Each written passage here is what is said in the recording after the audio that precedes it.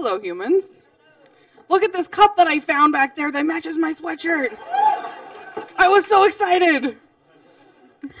okay, so I'm Emily, and I am a researcher with eleVR. We're a subgroup of the Communications Design Group, which is a research uh, lab funded by SAP. And this is my camera. It is made of foam core and hot glue and duct tape. And it is here to inspire you that you do not need millions of dollars to make VR video, and I'm going to show you how. So, oh, all right, whoop, there we go. This is eleVR. This is our little elevator. I just want to show it off.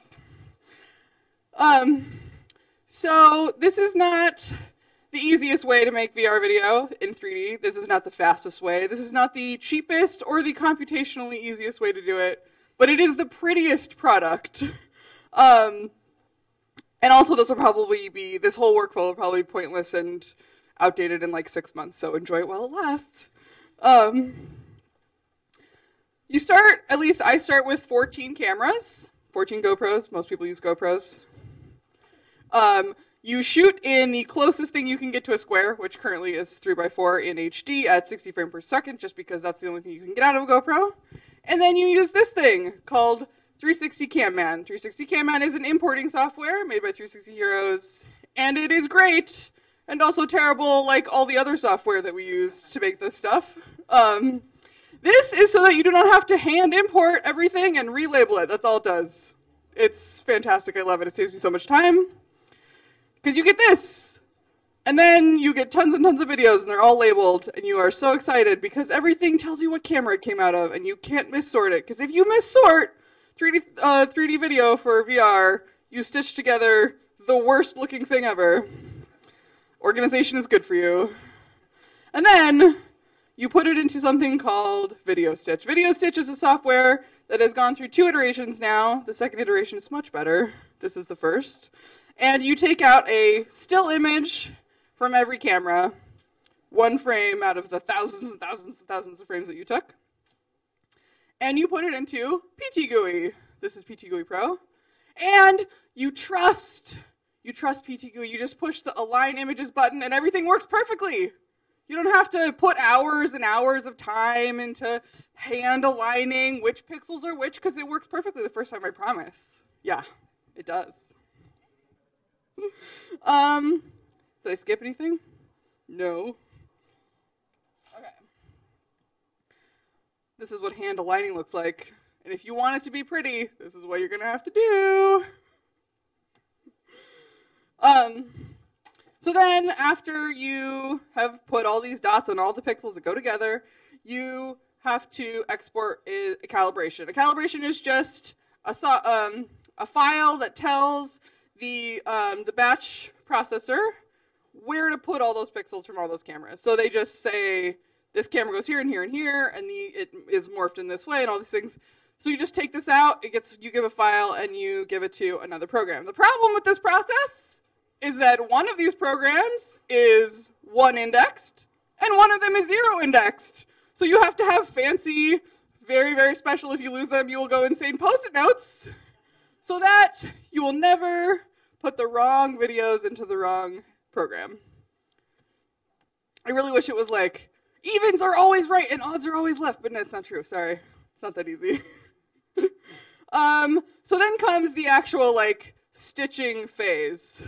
The stitching phase starts with synchronization. Synchronization can be done with audio or motion or flash. Audio works the best. These convolution algorithms to just line up all the audio waveforms. It's not that hard. Um, also, this totally works the first time every time. It never messes you up and you trust it, and it totally ruins all of your footage. That has never happened to me. It's totally trustworthy. Then you do exposure compensation. Exposure compensation just means that the light coming into every camera is different, and how you adjust all of that light has to be done individually for every camera. I would advise not having to do this at all by just closing every window in the space that you're in and just lighting it very evenly. That's the best way to do exposure compensation, but it doesn't always work that way. Then you do stabilization. If you move the camera, there are ways to stabilize the video so that the person who is putting your headset on is not like getting all knocked around. And then this is the best part of Video Stitch 2 is this little enable button. Because it used to be you would have to make two different video stitch files and put all of the videos into, into uh, uh, sorry, all of the video stitch files, and all the video from one eye would have to go in one, and all the video from the other eye would have to go into another. But we don't have to do that anymore. You can just make one calibration, stick all the videos in, and then when you want to export a left eye, you just disable all the right eye videos for you know, and disable all left eye videos. Makes it much easier. This is what it looks like when you get um, after you batch export a left eye and a right eye. You then, by the by the way, this takes forever. This is the longest part of the process. Um, and I have four graphics cards working on this all the time. Um, you want to see my beautiful Titan blacks, I'll show you pictures because they're gorgeous. They're my babies. Um, so you end up with this. This is called top bottom 3D. The top is the left eye, the bottom is the right eye. If you ever mix that up, you will totally ruin everything. Um, when you you try to export 4K, but 4K you think, oh, 4K is gonna be gorgeous. Except I have to stretch 4K all the way around your face, and then it makes it like 1K, and you're like, oh, it looks really pixelated. And I'm like, uh huh, that's that's accurate. Um, so then once you, you put this into Premiere, this is Premiere we're looking at, you can edit it like normal video, except for the fact that if you put titles or effects or anything over this, it is not projected the same way that the video is projected. This is called an equirectangular projection. And there's no way to get Premiere to do an equirectangular projection on a title. If you know how to do that with a plugin, I will give you money. um, this is an equirectangular projection. Equirectangular. We would like it to be a cube projection because it wastes less pixels. If you look at this, the thing that you are, most of what you're looking at is in the, the center of either the top or the bottom. So a lot of pixels are being stretched across the, the top edge and the bottom edge, and a lot of the pixels get wasted. So equirectangular, we call them greedy, but uh, there's other projections that you could use but this is just the one that we're stuck with for the moment. Um, also, Cube is also something you would be stuck with until we have like an actually native spherical video format that you can save in instead of an MP4. Um, so you do all this work, and it takes forever, and maybe one of your cameras died in the middle of shooting, and this is what happens when that when that glorious thing because it will happen every time because we shoot long form content so this is our talk show, and on this lovely day, the bottom cameras just decided that they didn't want to play anymore. So then you just start getting more and more and more black space. And this video actually ends with all being black and then just one little square of two people being like, sorry, we have to go because all the cameras are dying by. And then it just goes black. so these are the problems that you currently go through making spherical video. I have like more, way more technical stuff in here, but I'm gonna skip it. Um, but this is all the like invisible art of editing, right? Like back when people cut film by hand, if they were really good at it, you never noticed it. That's like the the beauty of making something and editing it. Um, but the idea that you can make this intellectual montage and of an abstracted flat media which represents a place and like I guess it it speaks metaphorically of transporting someone to, into the story. We talk about that a lot in film. But I don't have to do that with 360 video. I can actually put you in a place. I don't have to transport you anywhere. So I put all this work into it just so that when you put it on, it feels natural right away. Um, and also, like I said in the beginning, like eventually, none you'll you won't have to do any of this stuff. This will all be done by the camera hardware and by like one software program that you just magically imported into and everything is perfect. Right now that's not true, but it will be soon. Thank you.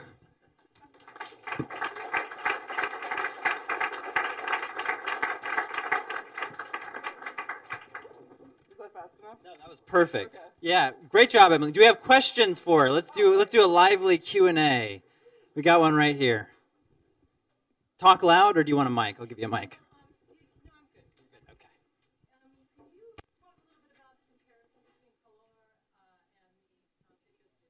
Yes. So is this on? Can you hear me? Okay.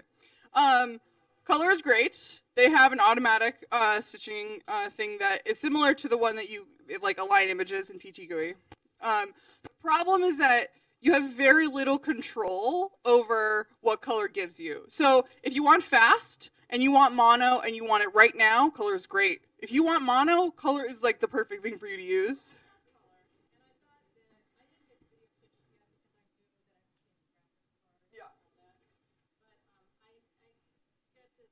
Idea that I that I need both. That it's kind of good to have both to go back and forth. If you want something like if I want something quick, just to prove concept real quick, I can put it through that video stitch. Video Stitch is the the prettier version. Like you can get really pretty 3D out of Video Stitch and PT GUI, Yeah. but I've just I, I will say I have never managed to get something that I thought was satisfactory out of Kolor. But it is a great prototyping tool. If you want something quickly, then that's what you should use. No, I want pretty. then Kolor is the way to go. No, video stitch. Oh, sorry. Forget everything I just said. So the graphics card, can you can you say what kind? Um, there are so Video Stitch and other and uh, Premiere all use multi-threaded, um, can all multi-threaded graphics cards. Um, so I would recommend using more than one. The type, I mean, they list the types on their website that that work best for their software, but I recommend Titan Blacks. They think that they're the best graphics cards on the market for what we do. Like if you're if it's for games, if you're doing 3D, that's something else. But like I do video and video rendering, so like that's I think that that's the best setup. Also, if you want to spring for Xeon, you know, dual socket motherboard, I wouldn't tell you not to. All right, more questions.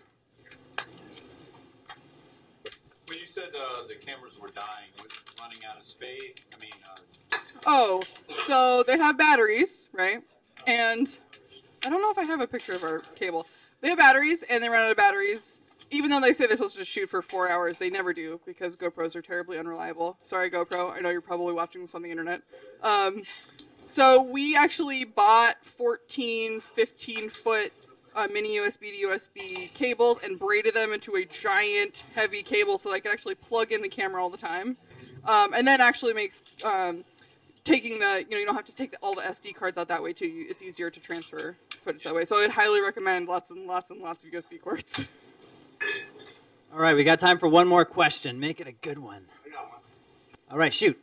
What is the biggest hurdle that you see between where you are and where you really think you should go?